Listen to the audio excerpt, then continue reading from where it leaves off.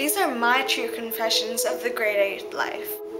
Throughout my life, I've been preppy Serena, always a cheerleader, and always popular. Nerdy Serena, the bookworm, always dressing like a stereotypical nerd and devoted to my studies. And then I was normal for a while, but then that got boring. It was hard to be normal Serena because I didn't really know what who normal Serena was. Now I'm goth Serena. Kind of hard though, because there's no good clothing in black anymore. They're not as fashionable. In my life, you'll meet Serena, my bestest friend in the world. And our new friend George. One day we picked Serena up.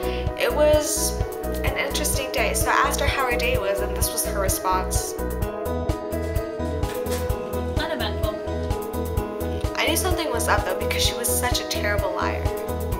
Maybe a week after the weirdness, this guy I have never seen in my whole entire life, George, comes to sit with us at lunch.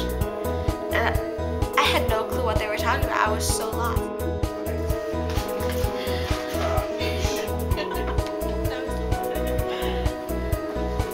Hey Mina, it's George. Last night? Last night, you know the thing that my parents made me do. I told you about that, didn't I? And I was so hurt that Serena did not tell me at all who this guy was. And one night she told me that I have to tell you something. Really? One night I was sleeping over at Mina's house. It was an interesting sleepover. We started we were watching a movie on the couch and then when it ended she told me something. She told me her parents were vampires. Can you imagine that? Vampires? And that she had to choose two.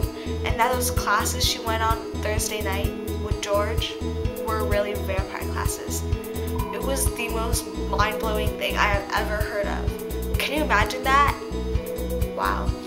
So she had to choose between me, staying human, and living and not seeing her parents anymore, or being a vampire and moving and never seeing me again. Felt so bad for her. Can you imagine that? Choosing your best friend over your family or the other way around is so hard. I can't imagine doing that. And you get to find out the story of what happened